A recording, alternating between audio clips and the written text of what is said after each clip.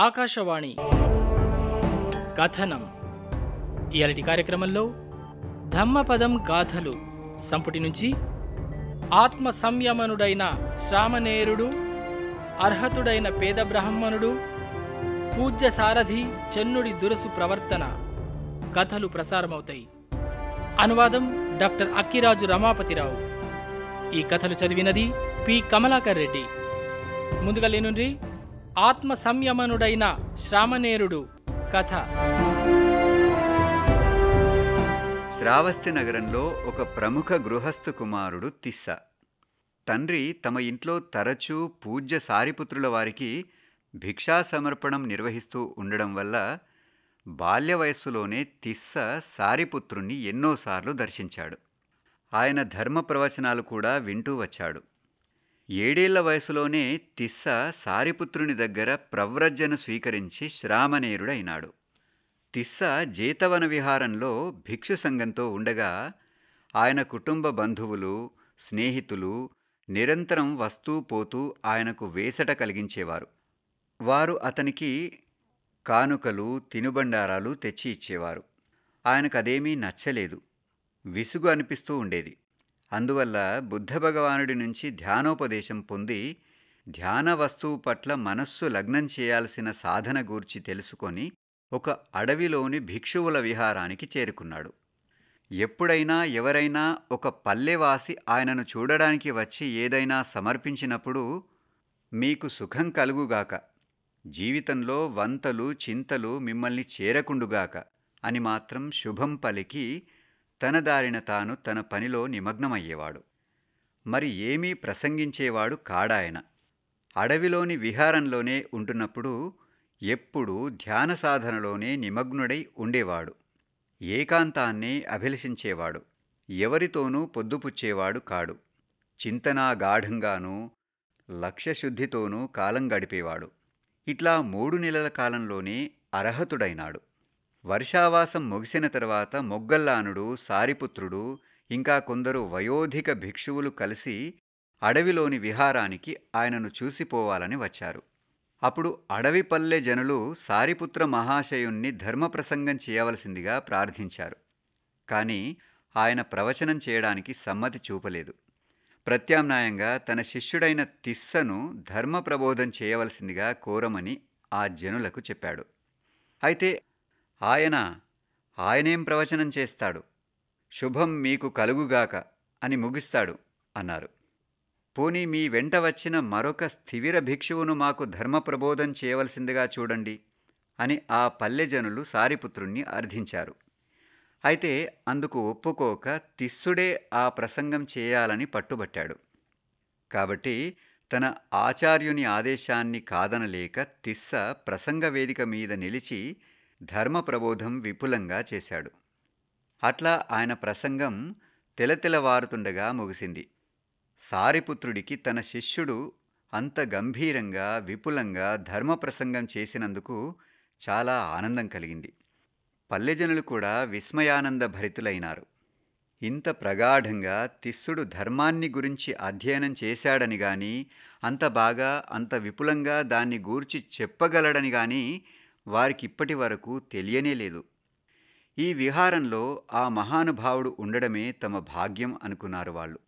అంతేకాక అక్కడి జనులు అయ్యో ఈ మహాత్ముడు ఇప్పటి వరకు తమకు ధర్మప్రబోధం చేయలేదే వ్యర్థంగా తమ జీవితాలు గడిచిపోయినాయే అని కూడా బాధపడ్డారు. బుద్ధ భగవానుడు జేతవనం నుంచి తన ఇద్ధిశక్తి ప్రభావంతో ఈ రెండు వర్గాల వారి ఆలోచనలు తెలుసుకున్నాడు. సంకల్పమాత్రంతో బుద్ధ భగవానుడు అక్కడకు చేరుకున్నాడు. ఆ పల్లెజనుల మనోభావాల అపార్థాలను పోగొట్టాలనే ఆయన అక్కడకు వచ్చాడు. సంఘభిక్షువులకు భిక్షా సమర్పణ ప్రయత్నాలు ఆ పల్లెవాసులు సిద్ధం చేస్తున్నంత సమయంలో వారికి బుద్ధ భగవానుని దర్శనం కూడా లభించింది. అందువల్ల భగవానుడికి కూడా భిక్షా సమర్పణం చేసే అవకాశం వాళ్ళకు కలిగింది. భోజనానంతరం బుద్ధ భగవానుడు పల్లె జనాలనుద్దేశించి ప్రసంగించాడు. ధర్మ విశ్వాసులారా నిజంగా మీరు అదృష్టవంతులు. మీ మధ్య తిస్సుడు ఉన్నందుకు. అతడు ఇక్కడ ఈ విహారంలో ఉన్నందువల్లనే నా అగ్రశ్రావకులు ప్రధాన భిక్షువులు నేను ఇతర భిక్షువులు ఇక్కడకు రావడం జరిగింది అని వారికి చెప్పాడు. బుద్ధ భగవానుడిట్లా చెప్పడంతో పల్లె ప్రజలు తిస్స భిక్షువు తమ సమీపంలో ఉండడం తమకెంత అదృష్టమో తెలుసుకున్నారు. జరిగిపోయిన సంగతుల నుంచి విచారం నుంచి తేరుకున్నారు. అవి వ్యర్థాలోచనలు అని గ్రహించారు.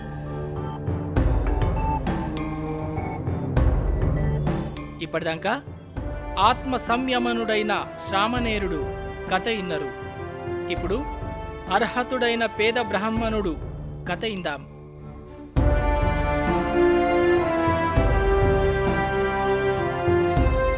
రాధ అనే ఒక పేద బ్రాహ్మణుడు జీతవన విహారంలో గదులు ఊడ్చడం పచ్చికను తొలగించడం గడ్డీగాదం లేకుండా ఆవరణను శుభ్రపరచడం మొదలైన సేవకా వృత్తిని నిర్వహిస్తుండేవాడు.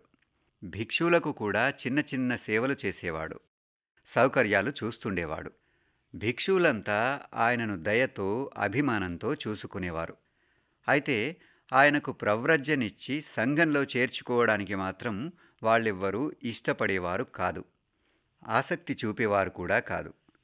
పాపం ఆ బ్రాహ్మణుడికి మాత్రం భిక్షు సంఘంలో చేరి పవిత్రంగా జీవితం గడుపుదామని ఉండేది. ఎంతో ఆరాటపడేవాడాయన. అట్లా కొంతకాలం వేచి ఉండి ఆయన బుద్ధ భగవానుడి దగ్గర తన గోడు వెళ్ళబోసుకున్నాడు. అందువల్ల భగవానుడు ఒకరోజు అందరు భిక్షువులను సమావేశపరిచాడు. వాళ్ళనుద్దేశించి ఇట్లా అడిగాడాయన.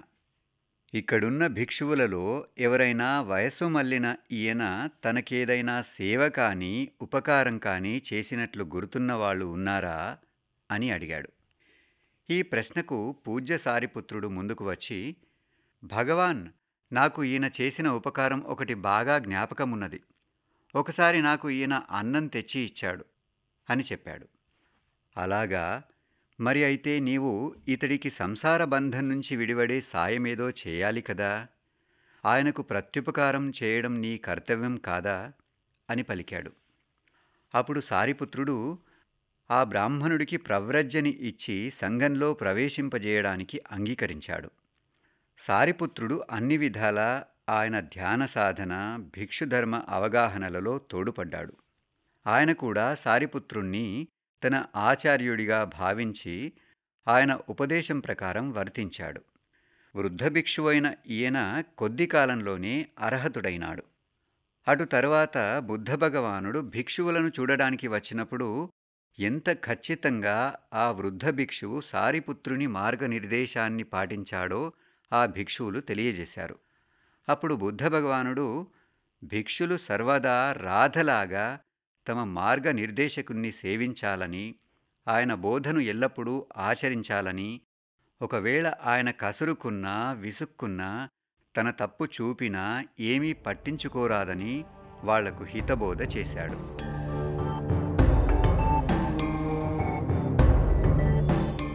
ఇప్పటిదాకా మీరు అర్హతుడైన పేద బ్రాహ్మణుడు కథ ఇన్నారు. ఇప్పుడు పూజ్య సారథి చన్నుడి దురుసు ప్రవర్తన. కథ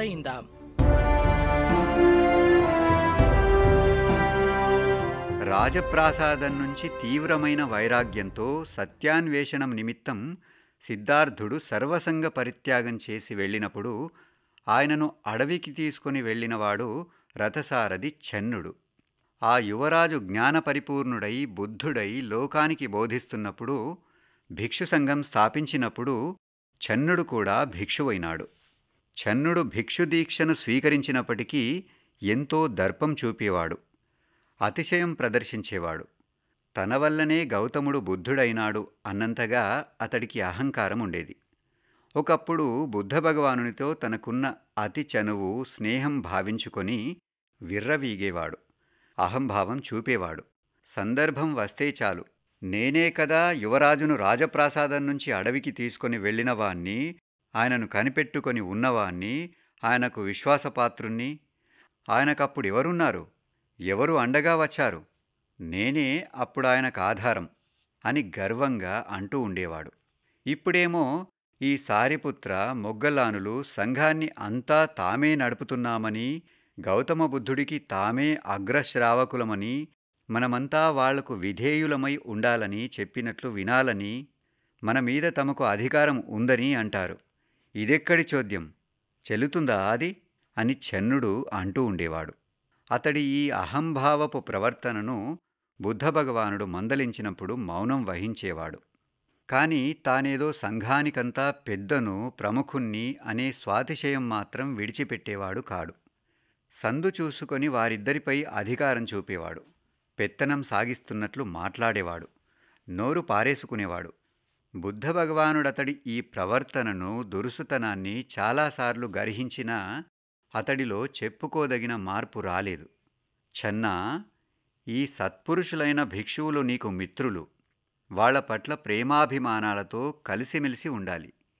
వాళ్ళ పట్ల సత్ప్రవర్తన చూపాలి అని చాలా మాటలు ఆయన చెన్నుడికి బోధించాడు. ఈ విధంగా పదే పదే బుద్ధ భగవానుడే అతడి ధోరణి చక్కదిద్దడానికి ప్రయత్నించినప్పటికీ అతడిలో పరివర్తన కలుగలేదు. ఆయనకే విసుగు పుట్టింది. జాలి కలిగి ఇప్పుడప్పుడే ఇతడి నడవడిలో మార్పు రాదు. నా పరినిర్వాణం తర్వాత చన్నుడిలో పరివర్తన తప్పకుండా వస్తుంది అని అన్నాడు బుద్ధ భగవానుడు ఒకసారి. బుద్ధ భగవానుడి పరినిర్వాణ సమయం ఆసన్నమైనప్పుడు ఆనందుణ్ణి తన దగ్గరకు పిలిపించుకొని చన్నుణ్ణి సంఘం నుంచి బహిష్కరించవలసిందిగా చెప్పాడు. ఆ శిక్షను బ్రహ్మదండమంటారు భిక్షుసంఘ వ్యవస్థలో. అతడికా శిక్ష విధించవలసిందని అతన్ని భిక్షుసంఘం నుంచి వెలివేయవలసిందని అతడి ఊసే ఎవరూ పట్టించుకోవద్దని ఎప్పుడూ దేనికి ఆహ్వానించవద్దని అన్ని విషయాలలో అతడి పట్ల ముభావం చూపవలసిందని భగవానుడు ఆనందుడికి వివరించాడు.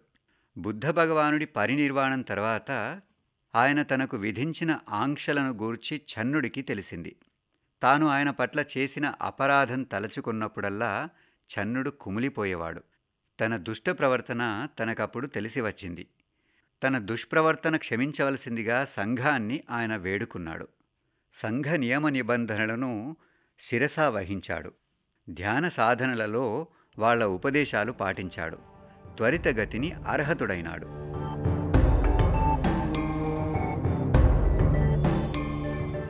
ఇప్పటిదాకా పూజ్య సారథి చెన్నుడి దురుసు ప్రవర్తన కథ ఇన్నరు.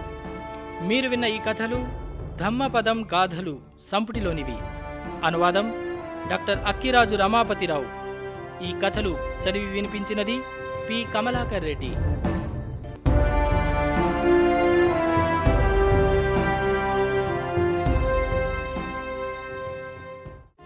ఆకాశవాణి ఆదిలాబాద్ వంద పాయింట్ రెండు ఎఫ్ఎం మనస్సు నిండా.